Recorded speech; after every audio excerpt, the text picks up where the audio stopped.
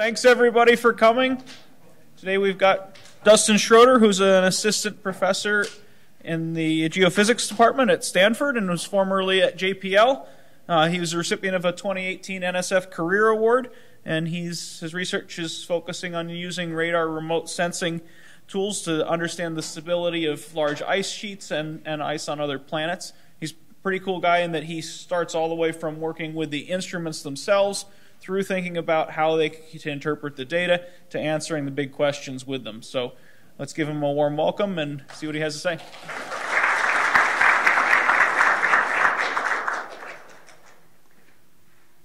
Thank you for having me out. It was uh, great to have lunch with all the students and realize, like, truly the breadth of expertise here, you know, in terms of uh, students having one department of engineering. So I, will try and uh, develop some intuition here. So regardless of if you're working with chicken embryos or space physics, uh, you can you can figure out, you know, what ice penetrating radar has to offer you, uh, and win some converts here.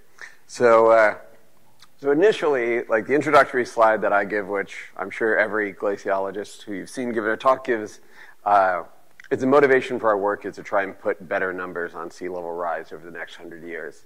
So this plot here, uh, this is model-based projections, uh, 100 years out, IPCC timescales.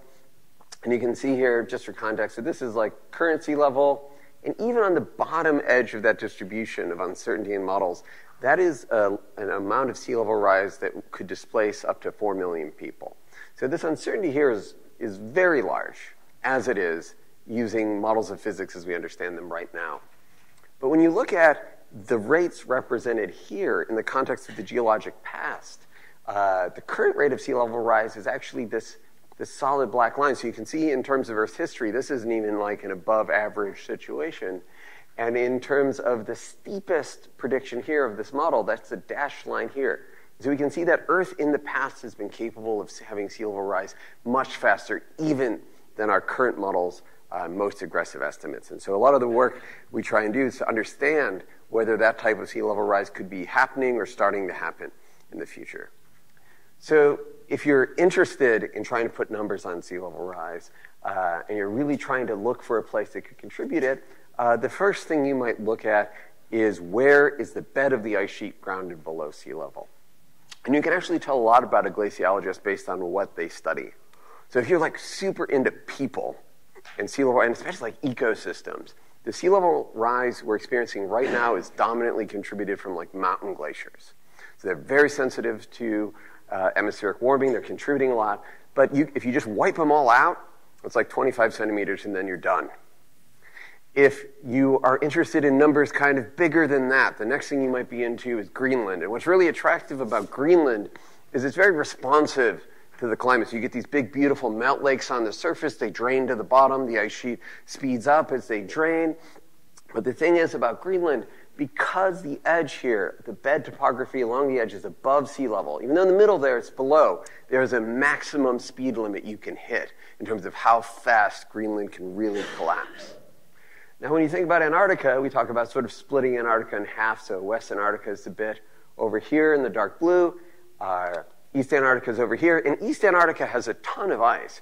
It's like 50 meters equivalent sea level. But East Antarctica is kind of for people who are like, like only a real Earth scientist could really like East Antarctica. So it evolves over like geologic time scales, right? And it, can, it governs, you know, seas disappearing and rising. But in order to really be into that, you gotta, you've got to view people as sort of like on the surface, but that's not the point. The point is the Earth and its history and how it changes. And then you've got West Antarctica here, the bit that if you remove the ice would sort of be open ocean.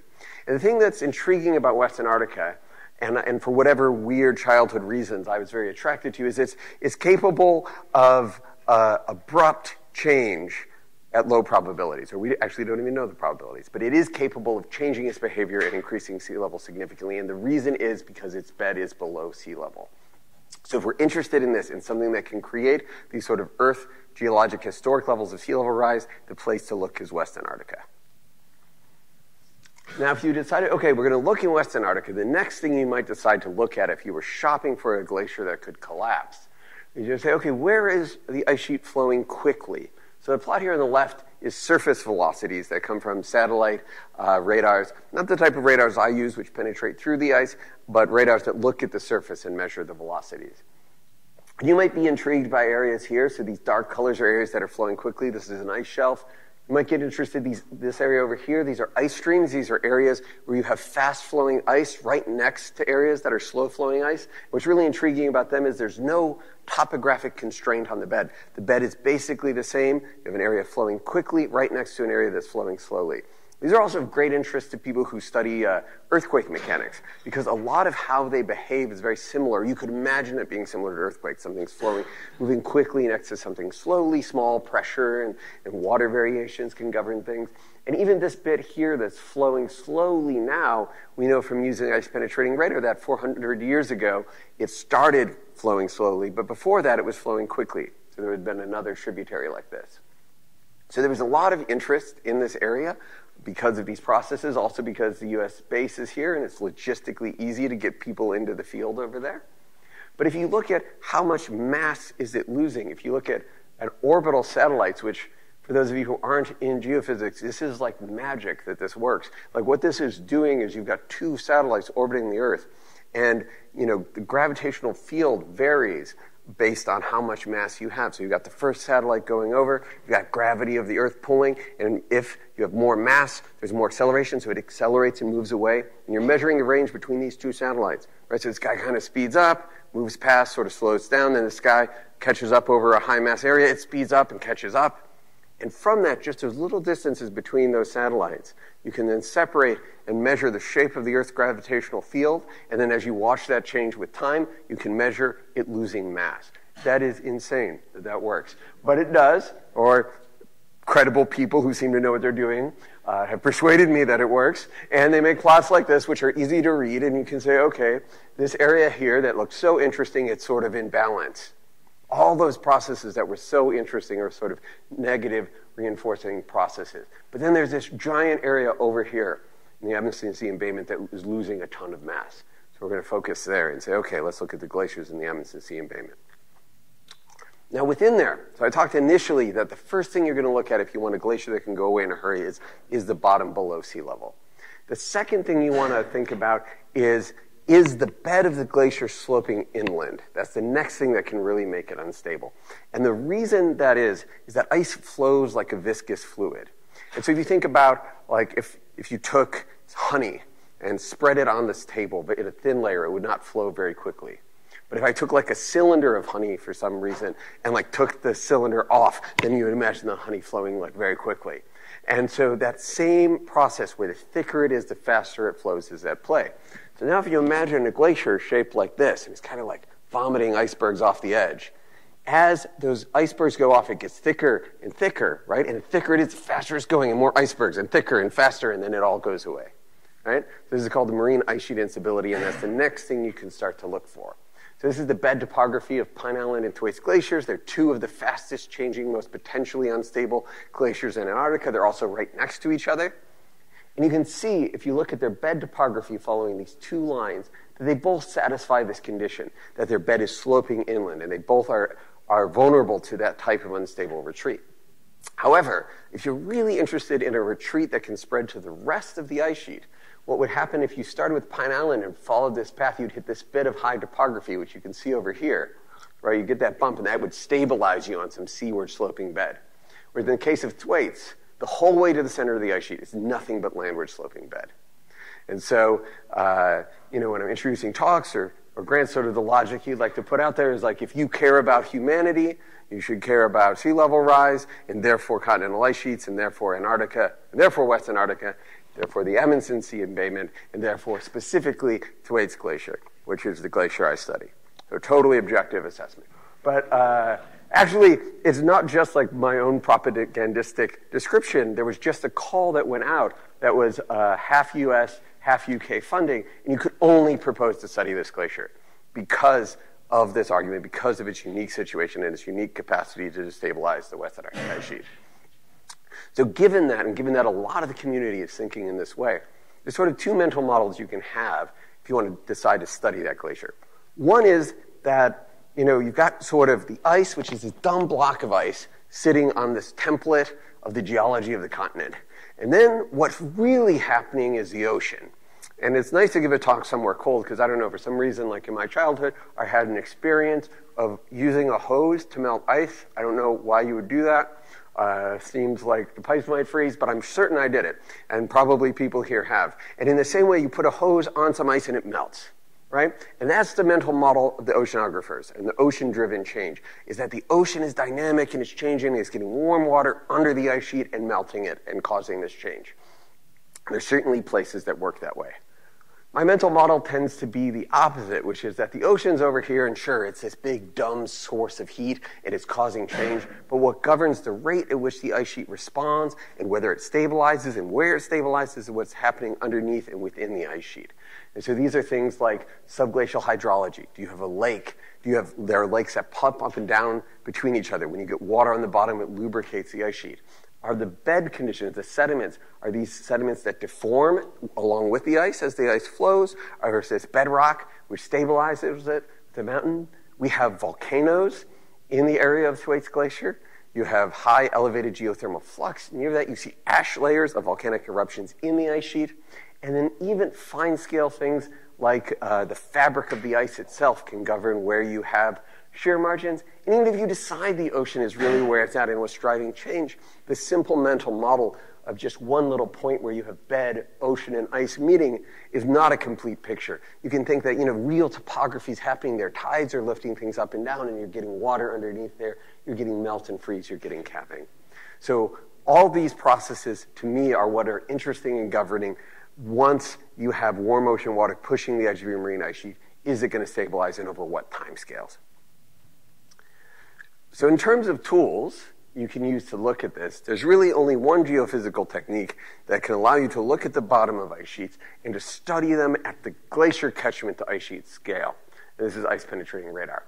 So unlike orbital radar sounders or orbital radars, which you know are SAR and look sideways and make images of the surface, sounders penetrate the ice and make a profile. So you can see a profile like this. It looks like a cake that's sliced open and you can see layers.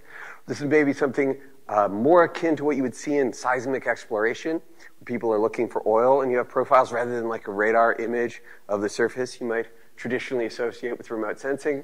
It's also traditionally born uh, on airplanes. So you can see an antenna here underneath this DC-3 airplane, uh, which actually fought in the Battle of the Bulge in World War II and then like the Mali Air Force owned for some reason, and then was bought and converted for this survey. And so it sends out a pulse of radar from the antenna under the wings. It goes through the ice, comes back, and each one of those pulses uh, makes a vertical line in a profile like this. So this is like four kilometer thick ice. This is, this is actually the curve of the whole ice cap all the way out to the ocean. This is like five, 600 kilometers long. You can see these layers inside uh, the ice cap. These are uh, these are isochrones, so they're like uh, tree rings for the ice sheet. You can tell about the history of flow. Um, are what people are drilling when they you know, drill ice cores. And you can see from that deformation the history of the ice. The other thing that is interesting about this is if you have any experience with uh, ground penetrating radar for like civil engineering or landmine detection or near surface geophysics, it's often a challenge to get, you know, meters or tens of meters into the surface right? Uh, and in this case, we're looking kilometers through the ice, and it's because the ice is an incredibly cooperative medium, and you're getting losses here that are on the scale of like decibels per kilometer, right? So you can get these beautiful pictures. The main purpose of why people were doing these profiles is to make maps like this. So this is what Antarctica would look like without the ice on top. This is just an interpolated collection of a bunch of profiles flown by different nations over decades you can see some areas like over here are clearly just interpolations, but uh, it's hard actually to fill in. What does it even mean to fill in and completely survey things in terms of profiles? You don't have that spatial coverage. But initially, this was the whole point of why these things were collected. And my group tends to take this data that was initially used just to map the shape, try and understand information in the echo. So, to give you a mental model of what sort of information is in the echo of a radargram, uh, let's talk about initially like looking at a subglacial lake. So this is a radargram of a subglacial lake. You, you uh, this reflector here, you could say it looks flat because it looks flat. And you can convince yourself that a lake would melt and freeze and make a flat interface that would be flatter than, say, the bed of an ice sheet. The other thing is that the reflection is brighter. And at some point in your high school physics class, you probably had an example where you thought about like a wave propagating on a string. You said, okay, that wave's there on the string, and then you talk about like tying the string to a wall, and you like whip the string and hit the wall, and then the reflection came back. And you're like, okay, what if there were like two strings that were the same size? You know, okay, you get the string, the wave goes, and all of it goes along. And they say, okay, well, what if the string was like super different in size? Then you mostly if it's reflected. And what if it's kind of close? Then some of it goes through and some of it comes back. That is a totally adequate mental model of like everything we do here. It is, it is in the same way when we say there's a stronger reflection from the water on the bottom of the ice sheet, we're saying that it is very different in terms of propagation. Yes, in terms of electromagnetic waves as opposed to stra- waves on a string, but the reflection you get of, say, bedrock here versus water is like 30 dB, and that means like 10 to the third. So that means if you have water on the bottom as opposed to the ice, it's going to be a thousand times brighter than the bed of the ice sheet. So that's a nice big signal you could feel pretty good about seeing. Now the challenge is that you're not just, as opposed to remote sensing of the surface, looking at the surface, you're also propagating through the ice sheet itself. And there's a question is, is that reflection bright because of a reflection of water, which you'd like to interpret, or is it bright because the ice did not absorb that much energy as you were propagating through it? And the main thing to take away from this plot, which is attenuation versus temperature, is one, it gets higher as it gets warmer. That makes sense if you, uh, like your microwave at home, you know, cooks food by vibrating water molecules. It's like designed to vibrate water. But if you put an ice cube in your microwave, it will not melt. Because when it's frozen in that crystal structure, it cannot vibrate in that way. So that same difference of like transferring enough energy to cook something versus not melting at all happens as you start to flirt with the melt uh, of things getting warmer. The other thing to look at is that that vertical axis is dB per kilometer. So that is an exponential unit over a linear unit, and then it looks exponential again. So the whole point is as things get warm, it absorbs an incredible amount of energy. And so now you have this serious confusion or fun of separating what's happening inside or underneath the ice sheet. Okay, so that's an adequate mental model for sort of the type of information we're trying to use. So now I'm going to go through some examples initially um, for terrestrial glaciology of Thwaites and Pine Island Glacier, um, and then go through some planetary examples for this mission to Europa where everything's the same, ice, radar, water, just colder and less power. So starting with Thwaites, I gave that whole introduction about how great and important Thwaites is. Um, there's also, like I said, this big US UK proposal where they funded a bunch of investigations with a bunch of acronyms like TARSAN and Ghost and Thor, which didn't even have an acronym, but then everybody else had an acronym, so they made one up. And, and we're going to go for like the next three years, and they're going to have airplanes and boats and robots and totally, entirely study this glacier with like almost our entire community. And as much of a fan as I am of Thwaites, I think maybe this is a lot. And maybe, maybe we should have a little bit of additional context. So, the point I want to try and make is that Thwaites and Pine Island are next to each other. And other than like the geographic history of them having different names, uh, maybe we should think about them as an interacting system. And I want to talk about a few areas here right on their boundary. So at the top there, the Bentley subglacial trench, this deep area. And I mean, even if you look now at the shape, if you look at that top bit where the Bentley Trench is, and you were to, and I was to say, like, draw a glacier. There are two glaciers here, draw them. It's super weird that you would draw that little lobe up there to flow through Pine Island, right? That's unusual. Also, same thing, you know, the shear margin. Why is that divide between the two glaciers? Many glaciers are divided because there's bed topography that separates them in an obvious way. Not the case there. Also, the southwest tributary, that's a bit of ice that flows from one glacier to the other, right? So they're interacting with each other. And then the eastern ice shelf of Thwaites is an area that is decelerating. So we're going to talk about each of these things, and hopefully I'm going to leave you thinking that maybe we should be thinking about these as a system together. So starting with the Bentley Trench. So in addition to the extreme weirdness of the shape of that sort of like blob of ice flowing into Pine Island rather than Thwaites, if you think about what pathway subglacial water would take it shows, and this is what those blue pathways are, it shows that they flow through Thwaites instead. And so this is like, if you think about, uh, you could imagine with the mountains nearby thinking about which way water should flow. And you could think through, like if you put an eyedropper of water anywhere on the mountain, you'd say, oh yeah, it kind of flows downhill, and it goes downhill and it gets to the river, and you could make a nice arborescent network out of that. You can do the same thing underneath ice sheets, just assuming the pressure of ice is on top, and that's how you get plots like this. So the two tremendous weird things are one, just the shape of the Pine Island catchment. The other thing is that the ice flows through Pine Island there at the top, yet the water flows through Thwaites. And that happens almost nowhere. You have ice flowing through one glacier and water flowing through the other. Now, in order to try and answer these, one of the challenges is that in addition to having different names, they were surveyed by two different radar systems. You can see on the right. The blue was a Texas built 60 megahertz radar system operated by the US. The red is a British Antarctic Survey 150 megahertz system with interleaf pulses of different sizes. And like Chris was saying, my group's about half electrical engineers and half uh, glaciologists and geophysicists. So from a geophysical perspective, this is a tremendous pain. From a radar engineering point of view, this is awesome. Because uh, what it forces you to do is think through really what is the difference in terms of what roughness and physical scales mean for different wavelengths you use. And almost all interpretation, if you can stick to one system, you can kind of brush it under the rug and say, look, it can't possibly be that big of a deal. But if you're trying to calibrate these two, then you really have to get it right. So after a bunch of work doing that, my student Andrew did, he's a master's degree student. So for the master's degree students in the audience, you should definitely write up your papers before you graduate. Uh, really, it's, it's, awesome for everybody uh, if you do that. Uh, anyway, after doing a tremendous and incredible amount of work with that, my, my student Andrew, who's now working at Sandia National Labs, uh, went through and tried to make corrections to then understand what's happening in the ice sheet.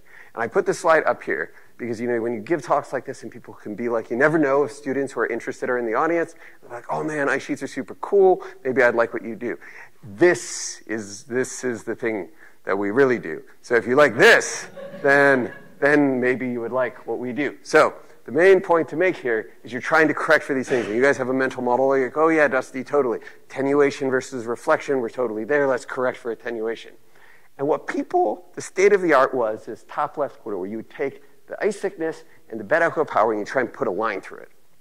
So already you're like, really, why, why is like dB per kilometer even a constant? Good question. Also, like that doesn't look like a line. It looks like it's steeper on one side, flatter on the other. The other really unsettling piece of it is that if you have a glacier of varying thickness and you have two pieces of thickness that are far apart from each other, what you're going to do is you're going to take those two thicknesses, those two powers, you're going to put them on the same spot on the x-axis.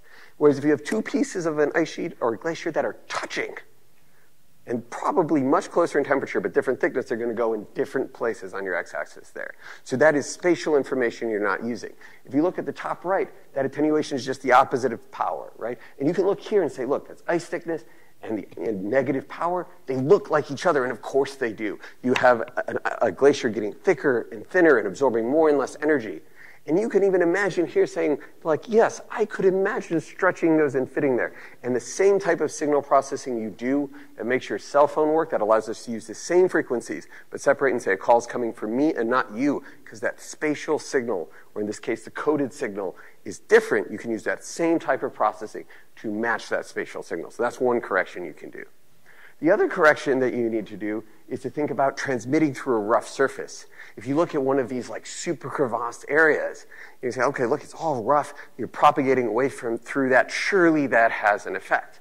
And if you have experience here of reflecting off of the surface, you know that the material doesn't matter, it's just the geometry, because what's happening here is some of the wave is kind of moving fast, farther than the other. And that difference in the distance it travels causes destructive interference and you lose energy. So that's an intuition you could have from surface remote sensing. Now, then you think about, okay, well, we're going to propagate through a rough surface, and surely that messes with it even more. However, the intuition it decides, and this is where you know I did my PhD in, in an earth science department, and one of the, the cracks that made me realize I was starting to think like an earth scientist was I was in an argument about the Europa mission where people who were who were simulating the surface, who were very good electromagnetics people, were like, our simulation says we're going to destroy the signal.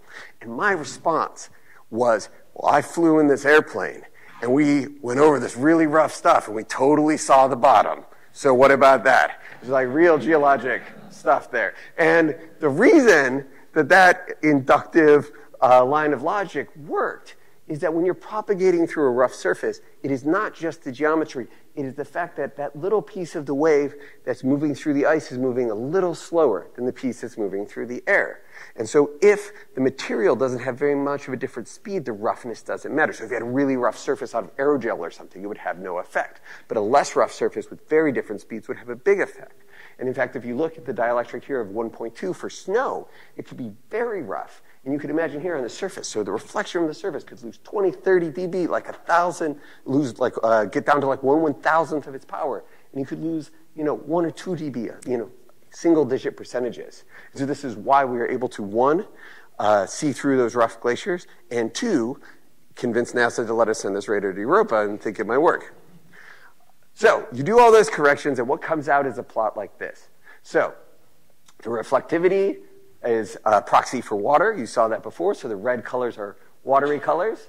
And in the top, and uh, it's the same background in both of these, except you have different water pathways. And what happened in this case is because our surveys are just these profile lines, there's not a lot of certainty on what the topography looks like. So we just added some random noise to the topography and adding sort of 10 meters of random noise. You could change this one, which was like the beginning one where you have the water flowing through Thwaites, to like this one where you see that same trench up top flows through Pine Island. And if you look at the dark blue area, so if this, you look at this pathway, you say, okay, in the Bentley Trench, there's sort of greenish stuff, there's some water there, it's going to come out of Thwaites, definitely water there, but it's flowing through that dark blue spot, which is like definitely frozen bed, so hard to imagine water could go there. Whereas in the top case, now you have sort of greenish areas flowing through sort of light bluish stuff into that red area in Pine Island. So certainly the pattern matches the idea of water flowing through Pine Island instead. And this is interesting for two reasons. One, it reconciles this weirdness of why would water flow one way and ice flow the other way. The other thing is, if this is the case, this could explain why the ice is shaped like it is, that the water's flowing that way, and that's what's lubricating the ice and allowing it to flow through this other glacier. So that's, you know, glaciologically intriguing. But if with 10 meters of bed topographic difference we can change where it's routed, that means you can change a water flow pathway, then all of a sudden take that big chunk of ice from and have it flowing from into Pine Island into Thwaites, and that changes your sea level estimates. It changes how your glacier evolves as either one retreats. All right. So in addition to that upper bit, so hopefully now you're like, oh man, that upper bit, the Bentley Trench, who knows who that belongs to? Now we look at the divide between the two glaciers. So this is shown the boundary between Thwaites and Pine Island on the top there. And if you look at all these black lines, which are the shear margins, all of them except the top one, I think you could draw them in. You could say, yeah, look, that kind of curves around a volcano, totally, you know, here's some red highs, it flows around there, flows around there. But man, that eastern shear margin on the top, that does not make any sense. This is zooming in. That is high topography you're flowing across. Why is that divide there? So that is intriguing. In fact, this paper here is titled something like, Why is this divide where it is? We don't know. Um, so, what you do is you go through and you look and you make those same corrections with the radar data. And what you see is if you look at the ice velocity on top, and if you look here, the divide in terms of reflectivity, the inside margins are about 10 dB brighter. That means they're more reflective, wet, uh, wet bed versus a frozen bed outside. Now, there's questions you could ask. You say, okay, chicken and then egg. Is it that this area is flowing fast, it's warmer, it's creating friction, and that's why the water's there? And it was there for some other reason, totally plausible. Or is it the case that the only thing we see dividing these things is where the bed is frozen versus thawed and wet versus not? In which case, then what could be controlling it is bed conditions. And when we look back that whole area of the Siple Coast with those ice streams where I was saying, oh man, they're super interesting but unimportant for sea level rise, when we look at those guys, those guys reorient themselves. They have shear margins moving. So if this divide between the two fastest, most potentially unstable glaciers in Antarctica is controlled by bed conditions like that, all of a sudden now its lateral extent is also up for grabs. So this is actually the, my piece of where I'm participating in this big ground-based, you know, acronym soup. Uh, I was on a proposal. Uh, so most of what I do is airborne, but I was on a proposal to do a ground-based survey of this margin itself. Um, and so what we're doing is there's sort of two hypotheses of why the margin is where it is, in addition to these bed conditions or what might sustain it. One is that you could imagine uh, that the margin itself is warm ice, which would make it softer and therefore sustain itself. And once it's going, it keeps going. So there are theoretical analytic models for that. It's what we're trying to do observationally uh, is actually we're taking a stationary radar system that was developed by the British Antarctic Survey and University College London. It's this FMCW low power radar that you sort of sits on the surface. You bury like a cache of car batteries. It sends a pulse like every hour, right? And so you use it to observe change. And uh, one of my students is taking a software defined radio which can be used to develop like uh, little radio applications, but actually some of them are for, for electronic warfare, for like uh, recording uh, like all the uh, Wi-Fi signals in this room in order to look through them afterwards, right? Uh, so you take one of those things that what she's done is she's used it to eavesdrop on this other radar, which is a much easier signal because no one's encrypting it or anything crazy, and slowly walk away across the margin listening to that radar signal. And you can imagine with these paths moving through this hypothetical warm region, you could then do tomography and then try and say, is there the type of attenuation you expect to see if it's a warm signal? So that's one hypothesis. I also have this postdoc who did his PhD on fish optics. So apparently, mantis shrimp have circularly polarized skin and can see circularly polarized light. And that's how they can find other mantis shrimp to like fight or mate or something. And so anyway, this guy can simulate in his PhD the circular polarization of fish skin. And so, in figuring out things we could do together in the group, he took a similar approach to looking at the fabric of ice sheets itself. And so, what he's showing here is taking, again, one of these ground based systems. They're polarized, they're dipoles, you kind of do like a pirouette with your radar, and you look as a function of this angle, how does the phase and power relate? And the main thing that is striking about this is that that bottom signal in each of those cases is pure analytic modeling of ice crystal fabric. And the top signal is real experimental measurements from the Greenland ice sheet with people like, turning around with a radar. And what you can see there is both the existence of ice fabric with a preferred orientation, the orientation of that fabric as well. And now you can start to look at that depth and orientation. And because these different fabrics have different rheologic properties and strengths, you could ask questions like, is it actually the fine scale fabric of the ice that's governing and reinforcing why the shear margin is where it is, is, and you can do it using these like pirouette radar surveys. Okay, moving downstream. So again, sort of flipping the axis, you have this tributary uh, flowing from Thwaites into Pine Island. That's sort of weird enough. Um, what you can also see, though, is that Pine Island is moving so those colorful lines moving in, the ocean starting to work on the edge and retreat there. And what you can see in both the top plot, which is velocities, you can see the blue color, that sort of blue triangle on the coast. That is a bit of bed that is frozen. And on the bottom here, we can kind of see it here, right? Which also shows it is frozen from the radar. So we have this one little piece of coast dividing these two glaciers right, that has a frozen piece of bed. And we've just talked about starting from way up top. Well, there's not strong control on the top of where this divide is. Here's the shear margin. Not strong control of why that shear margin is where it is. Here, maybe pinning on the bottom is this little frozen piece of ice. Maybe that is what sets the divide between these two. And now all of a sudden you've got ocean water coming in on the edge. And you can really think about that warm ocean water getting in and maybe thawing that piece and, you know, pulling the plug on all of it. So what we end up doing here is taking a reflight, and I'll show you for context. You know, for anybody who's done like orbital remote sensing, uh, you get like a bunch of repeats and crossovers, and you can do all sorts of fancy stuff. In the airborne world, that top right plot is like as good as it gets in repeat sensing. That is one line in 2004 in red with one radar system, and two lines in 2012 and 2014 with a different radar system. And this is like awesome. Uh, because the whole point was they were trying to fill in this map, and why would they go fly the same place twice?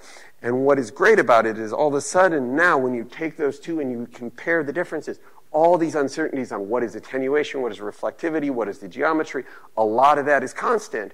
And what you can see is the difference. And you can see this alternating pattern of brightness increasing and decreasing, and that's just two separate ocean processes, melting and smoothing things out and crevassing and flexure. But you can see that there's this point inland of which there's no change, right? So we can say that ocean processes are working sort of 10 kilometers inland from the point we would say from satellite measurements where we think the grounding line is. And so we can say that this tributary here, which is separating the two, is starting to have the ocean work on the edge of it. And so we're going to see if it can really thaw that, that happening. All right. The final piece I'll talk about is the Thwaites Eastern Ice Shelf. So the plot over here to the left uh, is surface lowering and acceleration. What you can see in red, I mean, this is a changing reason, right? This is everybody's going there because it's all changing. Do you see everything's red? Of course.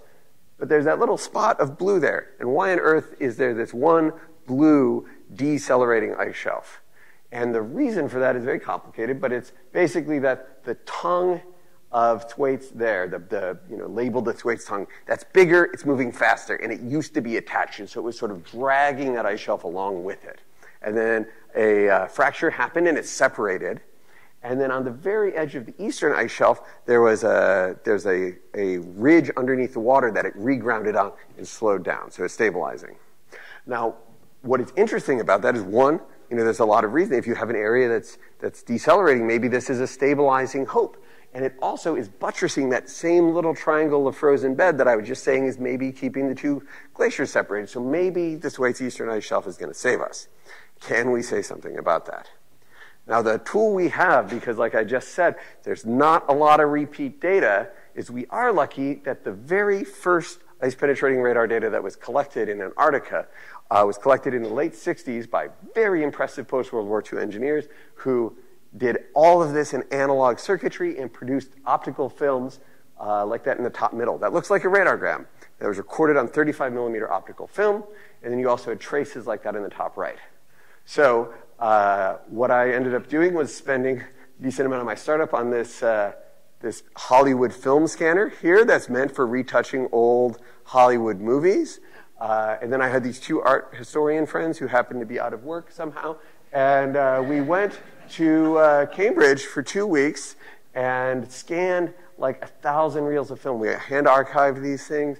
I was like using my startup to bid against hipsters on eBay to buy these like hand film winding things. And uh, what we produced were like two million images. And what it got you is a couple of things. One uh, is here on the right, this is actually the same area, piece of film so the top was what was available in publications from this piece of film and print. The bottom is our scan, so you can see the difference there. Also, just from a point of view of measurements of the bed topography itself, you can see the difference between the blue line and the red line, and depending on how uncharitable you want to be, maybe green line or orange line, but definitely there is no cheating involved in comparing the blue line and the red line, that all that fine scale, like one kilometer stuff, we've added with this scan. What you can also do is super luckily, and this, you know, at the time this was flown, Thwaites was not even a thing. They were just mapping, trying to see what the continent, like at all, mountain, yes, no, general shape was. But they had this one line that went over the Thwaites eastern ice shelf.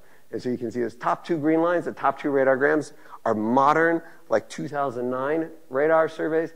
And in the gray, you can see the 1960 survey. And I mean, amazingly, you can even see like same bed shape, same profile shape, but you can start to look at, and it's hard to see here, but kind of maybe between the two blue dashed lines on the bottom, that's a piece where you're grounding on that offshore ridge. And now, which caused the deceleration in the first place. And you can see in those upper two radargrams, the blue line to the yellow lines, how small that grounding on the ridge is. And so now by comparing this over 40 years, we can see the process of ungrounding. We can see how much longer it's able to hold on. And this is super useful because one of our big challenges, if you're trying to make these IPCC timescale predictions, is you're trying to pre- predict how the ice sheet is going to behave in like 30 or 40 years. And it's hard to do that. But in this case, we have 40 years in the past till now, what's happening on the subsurface. And if you can model and understand that, you can have a lot more confidence moving forward in the same time scale. So hopefully that convinced you guys that Thwaites and Pine Island should be thought about as a system uh, and giving you a feel for the type of stuff you can do with terrestrial glaciology. Oh, a couple more. Sorry. Uh, also, all right, so that's the current state of things. That's totally accurate to my current understanding of everything we can say at this moment. However, in the news recently, even though it's been uh, in the literature since Scott himself, uh, there is surface melt in Antarctica. Now, it's a major process in Greenland. In Antarctica, you see them off of ice shelves. It is not yet on the top of the ice sheet where you would expect to see it affecting things, but it can be, and certainly in a warming world, this is a serious consideration. So if we're talking about moving forward, what might change the equation is looking at now moving to Greenland, uh, the idea of firn aquifers. So in Greenland, you get these lakes on the surface, they drain to the bed. That's the sort of simple canonical story. But there are observations of pervasive and sometimes temporary englacial storage.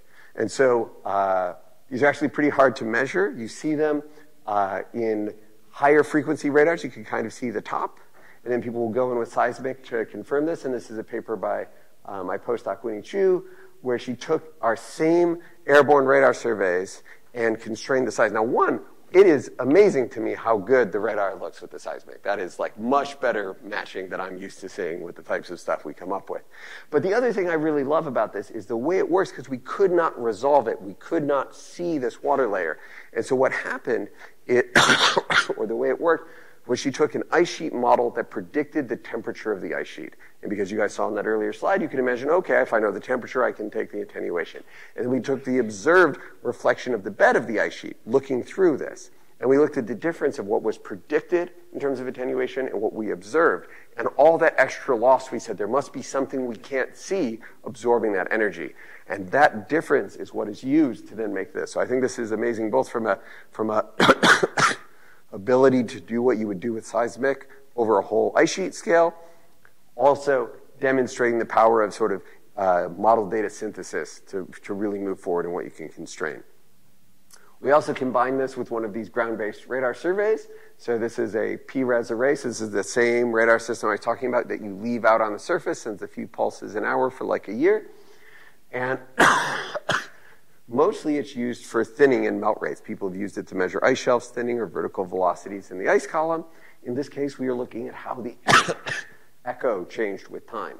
And what you can see here is you can see that the echo drops by like 50 dB. Once again, this is the luxury of these type of signals. These are giant. There's many things you could say is this causing this temperature, you know, system change, but 50 dB is giant. And so what we're able to see is if you take and ask the question and say, well, what could cause this? What if the hypothesis was that water was being stored englacially? We know from weather stations about how much water is being stored, and you can say that actually most of it is being stored into the winter. So this is an area, this is in the ablation zone, this is not an area where you would expect to see a firn aquifer at all, yet the ice sheet in damaged area is holding on to this water into the winter and letting it go before the following summer. So If you want to think about processes that will change in a warming world, I think these are two things that will start to play a role in the future as opposed to the things that we could see now. Okay, we'll do a little tour into planetary. so, planetary radar sounders uh, exist currently on Mars. So there's two, two separate radar sounders um, at two separate frequencies that you can use to study the Mars polar ice caps, and there's two sounders in work for the Jupiter system. Everything I told you about so far uh, was flown like 500 meters above the surface using like a 10 kilowatt transmitter. this is flying hundreds of kilometers, or at least tens of kilometers above the surface, and using a 10 watt transmitter. And the only reason that works, as you guys now, now know, is that ice is very temperature dependent, its attenuation, and space is cold. And that is why it works. So the goal here in REASON, which is this mission to Europa, is to use a two frequency radar system to study the ice shell. And I'm involved with this when I was at JPL. I helped do some of the initial systems engineering and design for the radar. I'm now on the science team. And with total bias, I will tell you this is the most important radar and instrument on the spacecraft, and it's going to answer all these questions right? So one, we're going to look for shallow subsurface water. Two, we're going to map the subsurface ocean. Three, we're going to talk about exchange processes moving up and down the ice shelf. We're also going to say things about the gravitational tide and geodesy, and then we're going to find, you know, places for a lander to land, all with a two frequency radar sounder. So, okay, we'll go through a couple of these things. In that cartoon, what we showed is that you had a two frequency radar system. And the reason for that, no pun intended, is that uh, it depends on what you're more scared of in terms of the radar performance. So this is an image of chaos terrain. It is really rough. And if you are scared of surface roughness, like the person I was arguing about earlier about the rough simulation, then what you want to do is you want to go really low in frequency so you have really long wavelengths so you don't lose things in that roughness. So that would make you really enthused about the 9 megahertz band. However, Jupiter radio emissions is such that uh, above 40 megahertz, you have a 60 dB jump in the strongest radio emissions you can get. And that apparently is from particles being emitted from Io's volcano, another moon of Jupiter, that then spin around the magnetic field lines of Jupiter, that then emit these beams of super noisy radio emissions exactly at the frequencies we'd like to use.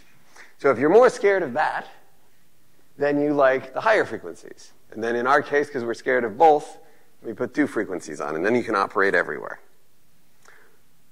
So another clarification to make is that in the planetary community, there's a lot of desire to use the term penetration depth.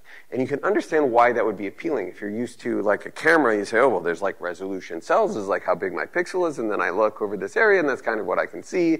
Surely a radar's like that. But the difference is with a radar, when you're penetrating something, it is really up to the moon and not your radar how deep you penetrate. It's all about how warm it is. And so if, these are all different simulations of the Europa ice shell. But let's say for now that we have like 100 dB of attenuation we can experience. And let's say that this is the kind of Europa we have.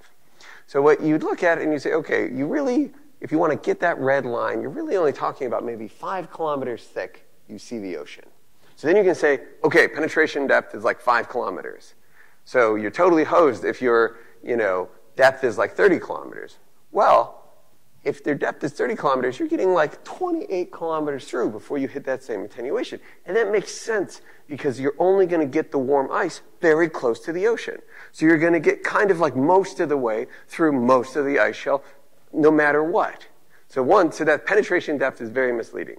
The other thing is you can imagine using this signal and this pattern to constrain the thickness of the ice shell. So even if you don't get to the ocean and see that echo, if you map that depth to which you lose the echo, that's going to be an attenuation. It's going to be an attenuate, iso attenuation level, which to first order is sort of an isotherm. And you can see from that shape whether you have convective shells and how thick the shell is overall. So you don't have to see the ocean to constrain it geophysically. Okay. There's also thought uh, that there should be shallow water. So even if the ice shell is thick, in order to get these thick, thick, ice shells, you need solid state convection to sustain them. So you have warm ice like the atmosphere sort of moving up, and then you have these cells, and then cold ice moves down. And if you're moving up salty ice, you can cross a eutectic point where you melt and make these lenses of salty water. And the hope is, so the one on the left is a chaos region, the one on the right is an iceberg on Earth, yeah, they look like each other, and that's the goal, is to, to get a radargram that looks like that and be like, that is the ocean, there's some water, there's going to be some space goop in there, send the lander, and find aliens. Now, the challenge with that in a flyby geometry, because the Europa mission is just doing these sets of flybys, is that you got to be pretty sure before you send your $2.5 billion lander down that what you saw was a reflection from the ocean. It wasn't a reflection from a, a pathologically positioned ridge off to the side. So a normal radar sounder with, without you know multi-channel capability just gives you the top picture here. Now what we're going to do is we're saying there's two channels, and you can imagine in this geometry, right, the path from something below is going to kind of go the same distance in both. And you can imagine if the distance is the same and you think about a wave, the phase of the wave is kind of the same. And you can imagine on the side if the distance is different and the phase of the wave is different. And you could have used those together to say, is this from below or the side? Now, if any of you actually do interferometry, this is a really blindingly bad interferometer. Like we, we need, we should have way more channels. If you want to uniquely position this, we're wrapping the hell out of the phase. There's loss that's really bad about this but it is good enough for this using the scientific method. So, the whole idea is, and this is a demonstration in Greenland, is you fly and you get a radargram, and here are these two features. And you can say, which of these is the bed of the ice sheet? And I look at this type of stuff for a living, and I couldn't tell you which of those is the ice sheet bed. Now, fortunately, it's Earth, so we can project them on the image up top, and we say, oh yeah, one of them's the edge of the Nunatak, one of them's the bottom of the ice sheet. But you can take and you can say, okay, well, let's think about what the phase should be like in the two hypotheses. One is what if it's at the bed? In that case, the path's going to be the same. The phase should be kind of zero. And you can see those top two cases are what it would be like if that was the case. Noisy, but kind of near zero. Now you can take the same two delays and say, okay, what if we, those are from the surface? We project those to the surface and you know what the phase should look like. So you see they have those two different shapes that correspond to their two different depths. And now you can take the phase measurements on the bottom, and as noisy and wrapped as they are, you can say that this one looks a lot more like its clutter signal and that one looks a lot more like its signal signal. And you can use that phase history to say, is that indeed a subsurface water body at Europa, send a lander, or nope, mountain off to the side. Right? So this is some of the, you know, I think uh, the fun with planetary missions is that you're so resource constrained that you can develop really sort of Rube Goldberg approaches to things uh, that on Earth you would just, you know, add a few antennas and be done with it. Uh, so that's really fun. Also of similar flavor is uh, using the radar sounder for geodesy. So if you know exposure to geodesy, especially planetary geodesy, um, you can apparently tell a lot about the moon of Jupiter from measuring like two or maybe three scalar numbers. So one number, H2, is like as Europa is orbiting Jupiter from different distances, it's got different tidal forces, it's like squeezing in and out. So that's H2, is how much does it squeeze in and out, kind of similar to tides, right? K2 is a little more confusing. It's the idea of moving mass within the moon. But you could imagine if the moon had a hard shell, but like inside of it had a bunch of mass you could redistribute, that that would change. That would change its gravitational field. And then there's L2, which is librations, which is sort of wiggling side to side, right? So in orbiting missions where you have lasers, you actually measure all of these things with like a million crossovers because you're orbiting it. But in our case, we're a flyby mission. We just have this handful of crossover points there. You hope that they are at the spots where if you were squeezing this thing in and out, where you would have a big difference, because if you go sort of mid-squeeze, you don't see it, right? And then also, we did not have a laser altimeter or a, an instrument that was meant for measuring small things. So like the range resolution of a laser altimeter inherently to it is in the order of meters. Of a, of a radar sounder, it's like 10 meters, 15 meters, not what you would normally use. However, if you take simple hypotheses like ocean versus no ocean, and if you take the radar and you use it with a DTM. So I, I had this uh, student working with me who was one of these laser geodesy guys, and his initial mental model was like that top picture, which is like a radar is like a really bad laser. So like it's like on all those mountains, and then you say, oh man, who knows where that echo comes from? You look at that top sort of cartoon echo. Who even knows what the right echo is? and that's true. But the mission also has this, this stereo camera that is making digital terrain models. And so now you can imagine if you took that digital terrain model and you simulated the radar data, like this little red cartoon, you could imagine sliding those up and down, and you could actually probably position those really accurately. And then all of a sudden, what happens is all these echoes off to the side go from being error sources, because you don't know which way is down, to being information of little separate range Doppler echoes that you could then cross register to know your position. And this is both interesting in terms of giving us this opportunity to do geodesy on the mission. It also opens up a totally different architecture for doing sort of low cost CubeSat type planetary exploration because you can kind of take almost two slightly better than webcams and get stereo imagery. You can take a sounder, big dumb you know, antennas like a, like a radio antenna that deploy. And if you can put these two together, they can give you these ranges. Also, because the beam pattern of the antenna is sort of isotropic, it's not in any direction, it doesn't matter how well you point it, as opposed to a laser, which cares a lot about how accurate you point it. So it's a very interesting approach from that point of view. And the point we were making in this paper that you can see in the top is what we showed is that that top line is what you could do with the radar, and the bottom line is what you could do with positioning the spacecraft better. No change to the altimeter.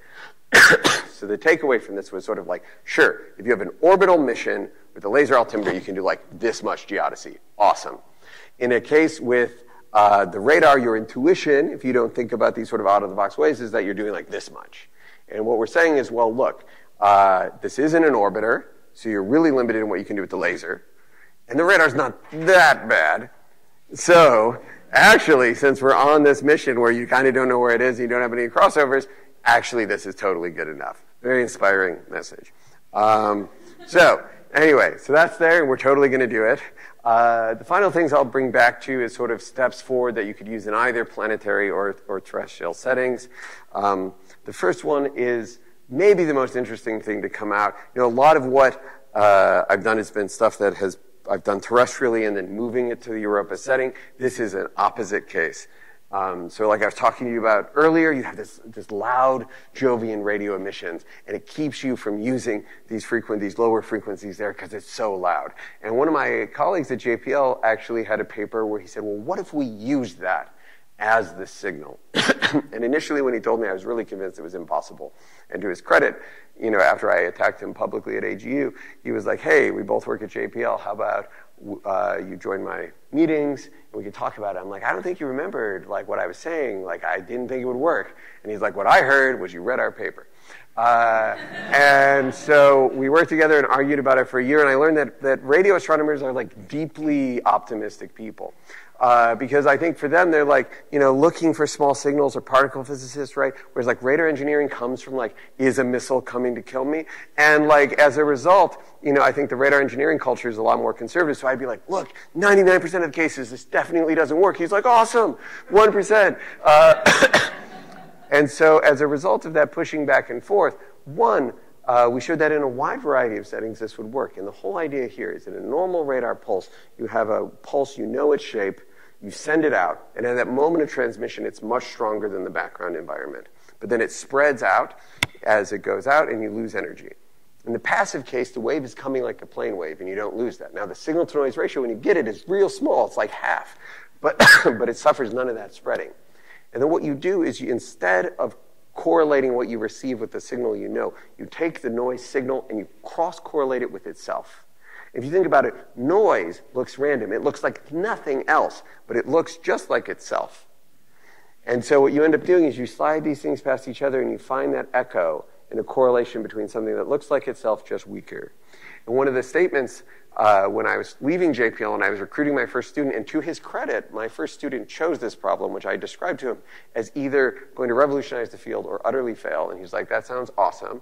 Uh, and, uh, and we said, like, if you're able to do this, you should be able to just take a radio antenna and listen to the sun and measure the reflections. It was like the world's cushiest glaciology fieldwork. You used to drive down the Big Sur and watch the sunset. And, uh, what you do is you get the direct path of the sun and then the reflection off the ocean surface. You did the delay. And in fact, you saw, you were able to measure that ranging with that. And what's amazing with that is now this summer, he's done it in uh, Store Glacier in Greenland. He does have an echo. He's, you know, a careful graduate student, he doesn't want me showing it, but it's totally going to work, guys. And from that, then all of a sudden you can make these low cost radars that you can you don't have to transmit, they're low power, you could leave them out, both in terms of planetary exploration and even the idea of tossing out thousands or hundreds of these things on an ice shelf to measure melt rates becomes really practical using the sun or maybe even you know, TV stations, radio stations, other man made sources. Along those lines, one of the things that's been lovely about being at Stanford is there's a big undergraduate engineering uh, group, and I you know, I had a hard time getting students initially to take my intro to geophysics course, but I got like 20 students who showed up to do research for free, uh, building radars, which was awesome. And uh, my undergrads built this amazing RF PCB radar, um, which you attach to a software-defined radio, uh, like here, and you can send out and receive pulses. So this form factor was for putting on a balloon, uh, but you could imagine adding some slightly more powerful transmitters and using them in a, in a ground-based setting. And we're having a lot of success both in using the stationary radar I mentioned uh, and eavesdropping on that, or even just building uh, active ground-based systems that you can process coherently. So I think this is really a step forward, and it's going to be, you know, the type of development they're doing is what's going to eventually be on arrays of drones, which is eventually going to be on CubeSats. Um, loads of fun. And then finally, the question that comes up often um, is look, at, we just talked about Europa and at Mars that we do these orbital sounding, yet we're doing all this airborne sounding on Earth. Why don't we do orbital sounding around Earth? There's three things that make this challenging if you decide you're interested in this. One reason is the Earth's ionosphere is challenging. That's true, it's harder than other planets, fine. But that is a solvable challenge. The other thing is the FCC, which does not exist on Mars or Europa. And as a result, we're limited in the bands we can use. And through the approval process, uh, we're basically stuck to two potential bands. One is P band, which is like 400 megahertz, and that's available. Could do it. Um, but it's kind of higher frequencies than we typically use. And the other is this 45 megahertz band, which came out of a paper that was written by an internal study, and that number was kind of picked, and then the paperwork was filed with the international version of the IPCC, or the, the FCC, and they are working on allocating that band. So this is kind of the two bands we've got to talk about. Um, and that one will take longer to get allocated. So that's one, so just the human constraints. The other constraint, which is super interesting, is that, like I was saying earlier, a lot of this frequency dependent stuff gets swept under the rug because it doesn't vary spatially at the scale that you would care as a scientist who is interpreting airplane data. But if you want to say, how much power do I need from orbit to be able to map the ice sheet? All of a sudden, those extrapolations matter a great deal. And uh, one of the things I was talking about earlier, because you have such a strength in firn here, is some of the P-band data that was collected has shown echoes from firn depths. And normally we assume these wavelengths are so long that from the firn that there could be no volume scattering. But if there is volume scattering at P-band, all of a sudden the firn could actually cause so much clutter that it blinds you from orbit. And so actually chasing down this frequency dependent stuff uh, will allow us to assess what we actually need for orbit and whether we can operate at P-band. So that's what I have for these two, and thank you very much for listening.